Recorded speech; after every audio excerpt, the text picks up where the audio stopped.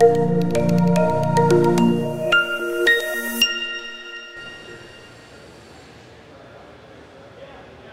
y'all, I'm Chris, and this is your 2022 Flying Cloud 23 foot front bed. Again, we'll start here at the front with the solar guard. Gonna reach up and level this out. We're gonna do this to open the front window. That front window opens outward. It is blocked by this solar guard. So you will need to come outside and open that before it's gonna allow you to open it from the inside. All the rest of the windows in the trailer that open do open from the inside, but they do tend to stick to the rubber gaskets, especially in the summertime when it's hot. So if you've undone the latches and you're pushing on the stalks inside to open the window, the window does not open readily, don't force it. You'll end up shattering it. I want you to come outside with your finger, with an old credit card, maybe even a plastic scraper, free it from the gasket, and at that point you can open it from the inside. On this trailer, when you open the center solar guard, you will also be allowed to open the side solar guards. There are rubber gaskets around the edges of these, but over time, dirt and leaves are going to get past those, and the windows that are behind them will get dirty.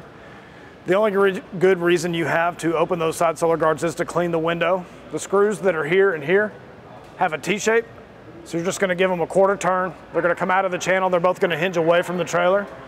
Please make sure that when you do so that you have a hold of the solar guard itself. If it's windy outside and the wind flings it open, there's not a stop. It will put a crease on the side of your trailer. Behind the propane cover, We've got your battery box. This trailer is going to come with AGM batteries. It does have the onboard solar. In here, we're going to find two fuses. This is the fuse for the tongue jack. This one is a 30 amp slow blow fuse. It's the only one on the trailer that's going to be that shape. We're going to back up and talk about the tongue jack for just a second. The tongue jack on this trailer is power. It does have a light in case you've got it connected at night. This tongue jack does not stop immediately when you release the trigger. So I do recommend you let it come to a stop before you reverse directions. But if you forget and suddenly reverse directions, the slow blow fuse will absorb the amperage a little bit. It's not gonna pop immediately. But if you go rapidly back and forth on that switch, you will blow the fuse for the tongue jack. Now there is a manual crank that comes with the trailer. You'll be able to fit it down here under the little bubble. That'll allow you to manually crank it on or off the tow vehicle. But if you have lost power, check the fuse first. The tongue jack is wired directly to the battery. Again, in here, we've got another standard 15 amp blade fuse. This one's for the solar plug that's over here. So in addition to the onboard solar, you can plug in a portable panel.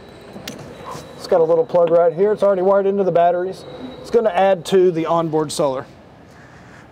Next to that solar plug is where you're gonna find the handle for the spare tire. There's a cotter pin holding a slide pin. If you pull those, the handle's gonna drop down. The spare's gonna slide out that direction. It's going to be 80 PSI on the spare tire, just like the road tires. You've got your propane bottles under this cover here. This trailer comes with 30 pound bottles and they're already full. In between, you've got an automatic regulator. So if you've got both bottles open, when one bottle runs empty, it'll automatically switch over to the other bottle internally. You can use this little post to point at one bottle or another, and if that bottle is open, it will pull from it. This trailer does not come with a gauge for the propane, so I will recommend you run one bottle open and run one closed. So when that bottle runs empty, whatever device you're using stops working, you have to come outside, close that bottle, and then open the other bottle. So that way you're at least aware that you're running on that second bottle. You can be a little more conservative with your propane. Start thinking about get that first one filled up. If you'll come around here, Brian, on the other side of the battery box, you're gonna find an external propane port. That is gonna feed off of the onboard tanks. It's a low pressure service. You can use that to run a little camping stove, maybe even a little space heater. Around the corner, we've got your gross vehicle weight and tire pressure sticker. Again, it's going to be 80 PSI on the tires, and you want to maintain that pressure for best towing and also best tire wear. Now, the stud below and its friend down at the end, as well as their twins on the other side, will be how you manually draw the stabilizers down on this trailer. This trailer does come with a manual crank. I'm going to grab a drill when we get down to the end so we can see how that's done. Store your sewer hose here. This black tube will hold a 15 foot collapsible sewer hose. And next we've got the fill port for the onboard fresh tank. So when you're bringing water with you, you're gonna add it through this port here. This trailer has the tank monitor in the bathroom. So when we get around the back, I'll show you how you can set up the monitor so that you can watch the status of your tanks as you're filling and emptying them. But if you lose track of the fresh tank as you're filling it and you overfill it, it's gonna come out of the vent port next to the fill port and not inside the trailer. Now I will recommend that you cycle through the water in your fresh tank every two weeks to 30 days.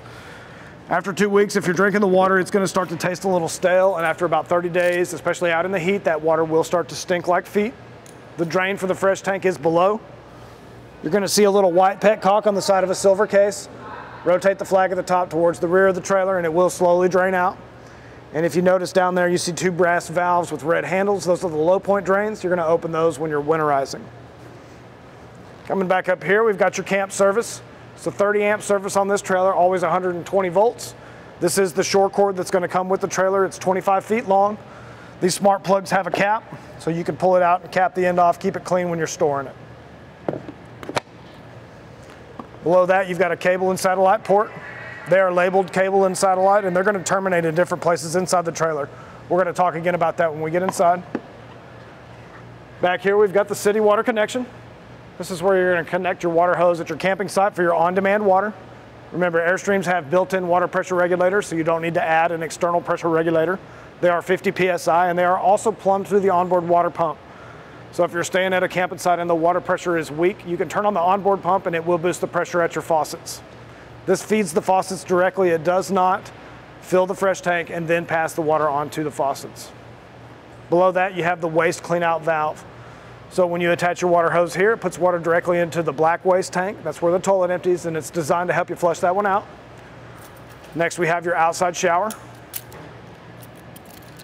Remember, if you're boondocking and you're using this with the fresh tank to get water pressure here, you'll have to turn on the onboard water pump. The city water is going to pressurize every faucet in the trailer, including this one, and this trailer also has an on-demand water heater. The default for the control panel on the water heater is on. As long as one of your propane bottles is open, all you have to do is open the hot water valve, and within 10 or 15 seconds, you'll also have hot water out here. On this particular trailer, you want to make sure that you never leave the shower door open and operate the furnace. This is the exhaust for the furnace and I have seen them melt these doors if they're left open. I do want to mention that these exhausts for the furnace are susceptible to those mud dauber wasps. We sell screens that you can cover them with that'll keep those bugs out of there. Next we have your waste clean out. There is a light in case you've got to connect at night. These handles are color coordinated and they're also labeled above. Black tank on the right, gray tank on the left. Remember the black tank is the toilet and everything else will empty into the gray tank. You always begin with the black tank, but before you pull this valve, I want you to connect a water hose to the waste clean out valve. Start to introduce fresh water. This is a gravity drain, so you need the maximum volume of water to help carry your solid waste out. So I will recommend you fill it as full as you're comfortable. 80 or 90% is typically sufficient. Pull the valve and you'll notice the water comes out of here much faster than it goes into that port. So when the flow diminishes and the tank is mostly empty, close the valve, fill it right back up to the top with fresh water. I want you to fill and empty this tank two or three times until that flow goes from muddy to clear. So I want you to wash it out until it's basically clean. Once it's clean, close the valve, let a little water back into there so that you've got something for your chemical to dissolve and diffuse into. I will typically fill it until it reads about 5%. That's usually the first number you're gonna see on the waste gauge. Turn the water off, go inside and add the chemical into the toilet right then so you don't forget. You wanna leave a little chemically treated water in the black tank only so as you're towing it around, It'll slosh around in there and help keep the inside clean. Come back outside and do the gray tank second. The gray tank is gonna have mostly soapy water from your sinks and showers. By doing it second, it'll help wash this pipe out. What you do not wanna do is open both valves at the same time. If you open both valves at the same time, the black tank will flow into the gray tank and contaminate it. And you also do not wanna leave your valves open at your camping site. You'll end up drying out the black waste tank. And if you left the gray tank open, you could permit insects to crawl inside your onboard tank. We're gonna grab a drill, we're gonna draw the stabilizer down.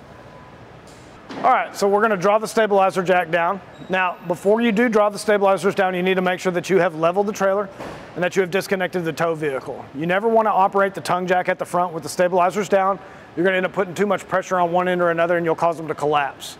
So if your camping site is unlevel side to side, I do recommend you back the low side up on some blocks, level it side to side first. At that point, you can disconnect your tow vehicle if you're going to, and then you'll be able to level it front to back with the tongue jack. Once you've got the trailer level, it's as simple as just cranking them on down. Run it down until it touches the ground. Give it just a little bit of extra pressure. I will typically start here in this corner and work my way counterclockwise around.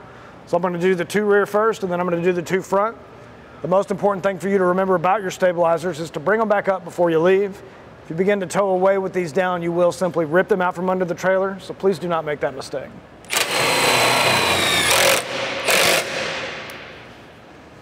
Now we'll come around the back. Starting at the top, you've got a backup camera. This backup camera has a microphone. So whoever's back here giving directions, if they speak towards the camera, they can be heard where the monitor is. But remember, it's just a one-way from the camera to the monitor. Down below, you've got the bumper or the trunk storage. This is your wet storage compartment. So when the door is shut, it's actually still open here on the ends. Don't put anything in this one that you're worried about getting wet.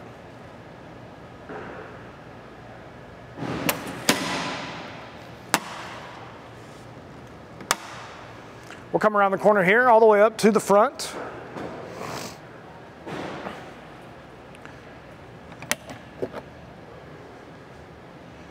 This is going to be the main outside storage compartment on the trailer. In here we've got a light that does not come on and off as you open and close the door. So I do recommend that you make sure you turn the light in the storage compartment off. It's just going to be one less thing to come on when you hit the master switch by the door. Next to that we've got the external AC plug. This is just your standard 15 amp AC and it's only available when you're plugged into your shore service. The inverter is not going to send power to this unit. Next to that is the water heater. Remember, this is an on-demand water heater. It is not a tankless water heater, although it will behave as a tankless water heater. There is a little 0.4 gallon tank. There's not a drain plug. There is no node rod. So for most folks, it's going to be basically maintenance free. And the control panel that you'll interface with is in the bathroom. Remember, the default for that control panel is on. So if the trailer is powered, the control panel is also powered, but being on demand, you've got to draw water through it to get it to do anything. Outside here, we'll find a master disconnect switch. This is going to disable the entire unit. Over here we've got a pressure relief valve. This allows us to service the water heater. The thing you need to remember about the water heater is that it is propane fired. So in addition to having one of your propane bottles open when you go to make hot water, you need to remember there's also gonna be a hot propane exhaust coming out. Just make sure you haven't blocked it with anything flammable like the back of a fabric chair. All right, now we're gonna fold out the manual awning on this trailer. We're gonna start here with the travel latch. And I always start with the hook style one. You're just gonna rotate that up and out of the way. The ones on the end here are going to unscrew.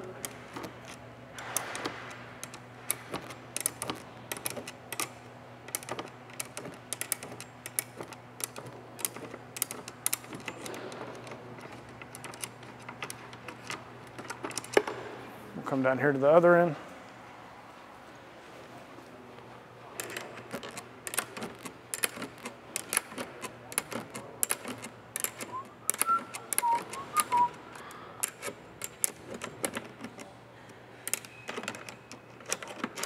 All right, now when you pull the awning out on this side, it's very important that you pull away from the trailer and not straight down so you don't accidentally scratch the side of the trailer with your awning tool.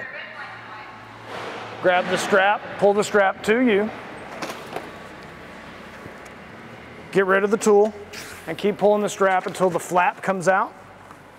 Make sure you've got a hold of it until you can get down here to the arm. Once you're there, place the arm up here on the head, and then push it forward to lock it in place. Now we're going to come down to the other end. We're going to do the same thing. And I do want to mention that the front end where the hook is is spring loaded and the lock is on the upper end. So we're just kind of pushing it until it locks in between the awning. Now at this point we can start to extend it. There are four of these notches and you can do up to two at a time before the arms start to bind, but I will typically just start with one. Come over here and do a couple more. So there's one and two. And we'll come back down here and do two more. Three and four.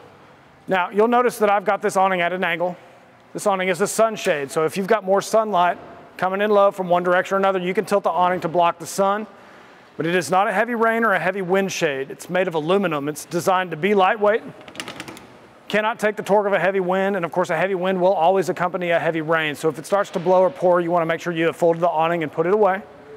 The strap is gonna roll up.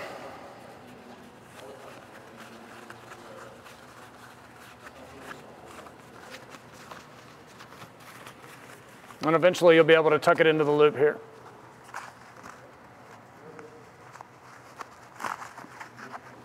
Now I also want to mention that there is an LED light strip across the top. That light strip is on a dimmer switch. It is labeled right inside the door. You can dim the light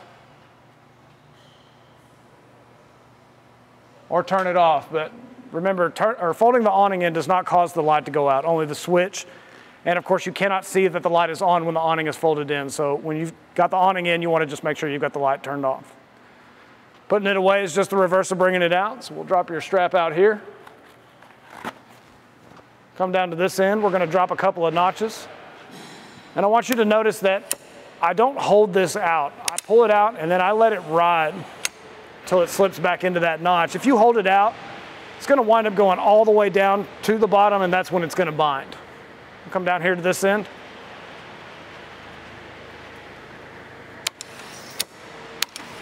Now at this point, we're gonna pull here to release. And we're gonna set this on the travel rest. Just get set in place, it doesn't have to be locked. Down here to the last end.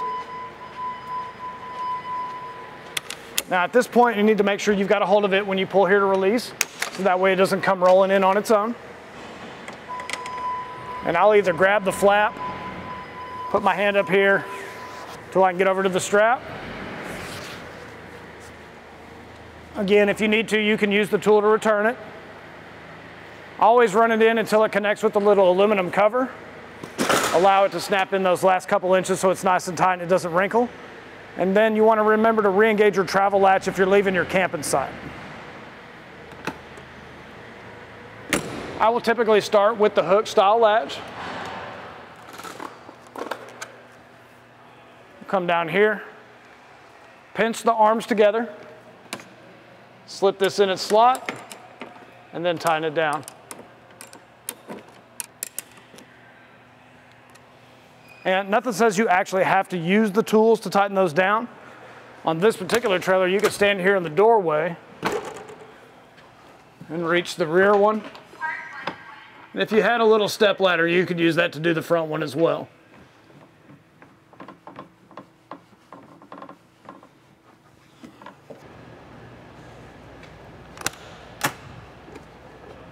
Now, Brian, if you'll follow me inside, I do want to point out we've got a fire extinguisher right here by the door.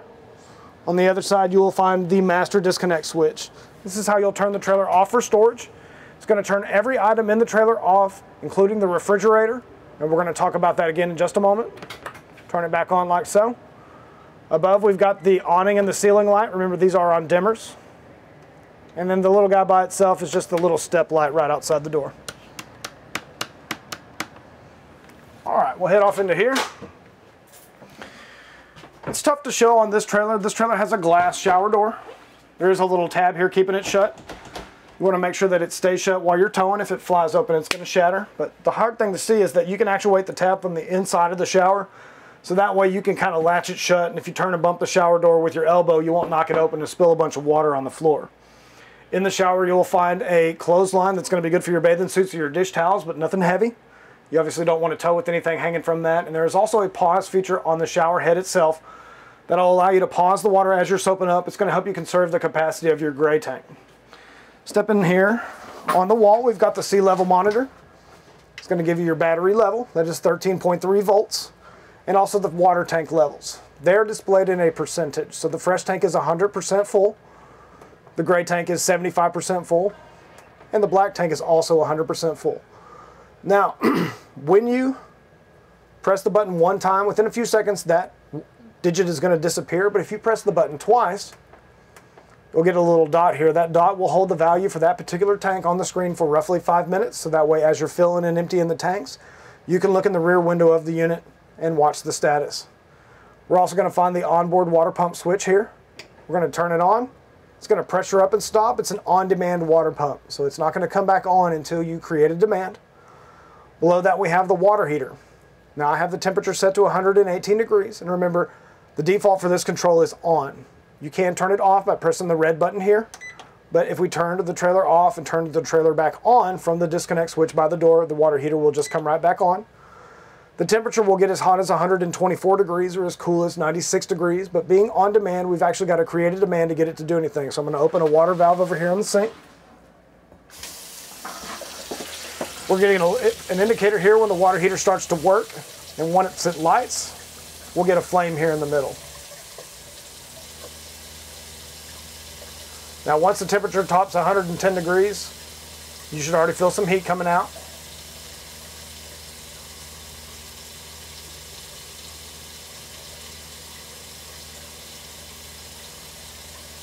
And then it'll shut off whenever you take the water source away.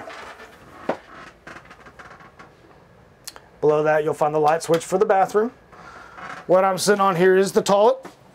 Just real quick, when you want to flush the toilet, the lever on the right hand side, a partial step will fill the bowl. Full step flushes. Of course, your chemical goes straight down into the toilet. And before you leave, turn off the water pump and use the toilet to take the pressure off the water lines.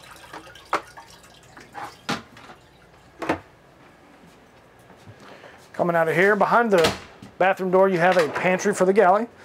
This pantry has adjustable shelves. I do recommend you put all the heavy stuff down low. It's going to fall there anyways, and when it does, it's going to be difficult to get the door open. In the galley, we're going to find the solar monitor panel. This one has a 90 watt solar panel and the default, I'm sorry, the solar system in this trailer is automatic. So as long as there's sun on the panel, it's already charging your batteries. You do not need to turn the solar system on or off. This does allow you to monitor the status. And next to that, you're going to see the inverter control. We're going to press the button on the right hand side. We're going to turn it on. The inverter is going to provide an alternating current service when you're boondocking and all you have available is the direct current that's stored in the batteries. This is a 1000 watt inverter so it's got enough power to power the television and the DVD player and you're also going to find power at the plug below the dinette. It's going to give you the battery voltage. You can cycle through to the shore power and the third display that's currently blank is the draw. Turning it off will require you to press the button until you see the display flash. Flash. All right, next we've got the Vent-A-Hood. Little fan there and a light. Below that you've got the range. To get this to light, take the little flame and line it up with the arrow. Strike the igniter. Please note that they turn red when they're open, blue when they're closed. Now, if you've been cooking on the range and it's nice and hot, give it a chance to cool before you close the lid. The lid is made of tempered glass, and if it gets too hot, it might shatter. This unit has a gas oven. The gas oven will not light from the igniter that operates the range. You're going to need to use a kitchen lighter or a long match. You'll find a silver tab right below this shelf. Follow that to the back with that lighter or match. Once you've got the pilot light open, it will light and then you can turn the temperature up from there. Next, we've got the refrigerator. Now, the refrigerator in this unit is an AC-DC refrigerator. So plugged into the shore service, it's running off of AC. Pull the shore cord, it's going to automatically switch over to DC in the battery. You don't have to do anything to make that happen. This refrigerator has a, tab, a travel tab on the refrigerator door and down here on the freezer door as well. These are helping to keep the door shut as you're towing. These little tabs can be actuated when you're storing it to help prop that door open so it doesn't mold or mildew. Now inside here, you're going to see one temperature knob that's going to operate both units. Seven is the coldest and one is the warmest. Now this refrigerator takes two or three hours to get completely cold. I do recommend you plug it in get it cold overnight. As long as it's completely packed full of cold food, it will stay cold without an external power source for five or six hours. However, because it runs off of the batteries and the tow vehicle is charging the house batteries as you tow, if you leave the master disconnect switch by the door on, you will power the refrigerator all the way until you reach your camping site. Next, we've got the dinette. To fold it into a bed, I want you to pull out on these levers here, and then you're simply gonna push the tabletop straight down. Now, when you make this into a bed for real, push the cushions out of the way, go all the way down to the cabinet, take the short end off here, and place it right in the middle, and then on the other end as well. It is spring loaded, so when you're ready to return it to a table, Undo the levers again and it will come back up on its own. This can also be swiveled. And on one side we're going to find a little really hard to undo latch. And that will let it slide.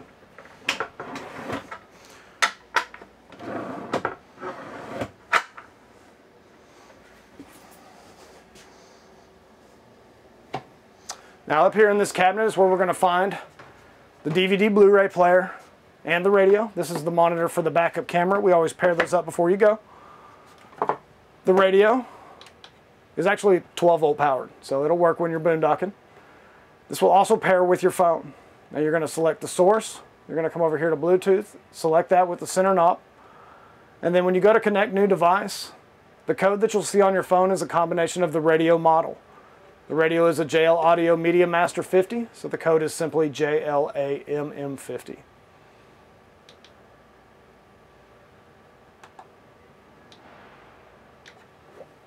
Remember, this will play DVDs and Blu-rays. Here's the remote for the TV, the remote for the DVD player. They also come with an AC power tester. Behind the radio is where you're going to find the termination point for the satellite port on the side of the trailer. This is designed for you to place the satellite receiver in here. You can actually pull the coax cable out from behind there, run it through the wall here, plug the receiver into that outlet there.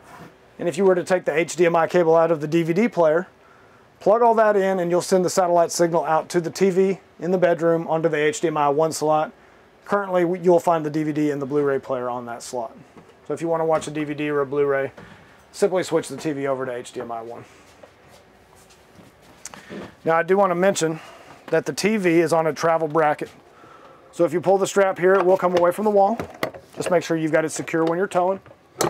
And against the wall here, we're going to see a little white plate with a green light.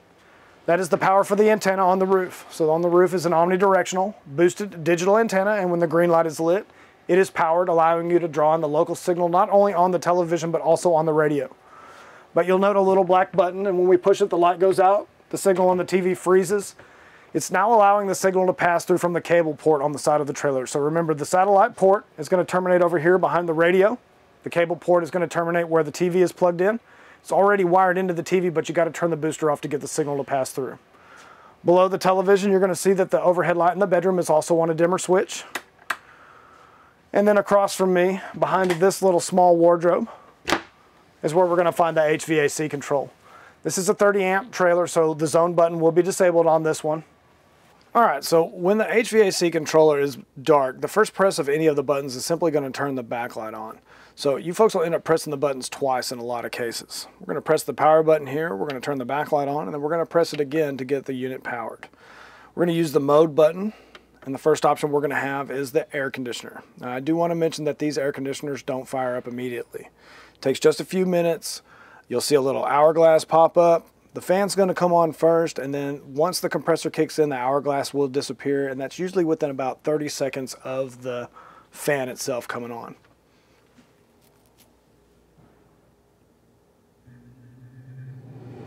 Alright, the fan just came on right there. We're still waiting on the compressor to kick in. Alright, now if you look down here, you'll see a little fan symbol and it says auto. That is the fan speed control and there are three speeds. You have low, medium, and high. I do recommend you leave it in auto as the default so that way when you turn the control panel on the fan doesn't come on immediately. And I also want to mention that the speeds don't change immediately so be patient with it. Now by mode we're going to have another auto across the top. The auto across the top is going to automatically switch between the air conditioner and the heat pump depending on your ambient temperature and what you've got the target temperature on the control panel set for. By mode the next option will be the heat pump the heat pump is your electric heat, so you must be plugged into your shore service to get it to work, just like the air conditioner. It does make a little squishy sound as it switches back and forth from the air conditioner to the heat pump, so you can listen for that. And I also want to mention that the heat pump is only going to work at 100% efficiency down to about 50 degrees ambient temperature. After that, you're going to want to switch over to the propane furnace. The propane furnace is powered through zone 2. So on zone 1 after the heat pump, we have a fan only option and then off the furnace is going to disable the overhead unit and it will come on down below separately. They are two separate units. And even though the furnace is powered through the same control panel as the air conditioner and the heat pumps, the furnace is going to work when you're boondocking and it will run off of just the batteries, whereas the air conditioners and the heat pumps will, re will require you to plug into a minimum of a 30 amp service. Back to the furnace, I do want to mention the furnace does not light immediately, but it is propane fired, so you need to make sure that you've got at least one of your propane bottles open. It takes about 10 seconds before it lights. Once it's lit, you can use the overhead fan if you're plugged into the shore service by selecting a speed, and that'll draw the furnace air up into the ducting and help redistribute it throughout the trailer. After you shut this off, and I do want you to cycle through to off on both zones before you turn the control panel off, you'll notice that the furnace continued to run for two minutes. Please do not depower the trailer during that time. It is just blowing regular temperature air through the ducting to make sure there's not any hot spots. And I want you to make sure that both zones are off before you turn the control panel off so that way when you turn the control panel back on it doesn't accidentally come on to whatever you had been using previously. We also have the inside temperature button here. You have your Fahrenheit Celsius button, temperature up and down. There is a clock and it has two programmable cycles. Remember your fan speed control, the modes, the zone button, and of course your power button. So under the bed, you're gonna find some storage. If we lift up on the end of the bed here, it's on shocks. They come with a couple of tubs, and then of course you've got a couple of access ports all the way around it. Just be careful when you're pushing the bed back down. You don't want it banging too hard. Well, thanks for your time, y'all. Thanks for watching our video. If you have any questions or have any recommendations on content you'd like to see, make sure to drop a comment in the comment section below. If you enjoy our content, give us a like and be sure to subscribe to our channel. Thanks again from Airstream DFW.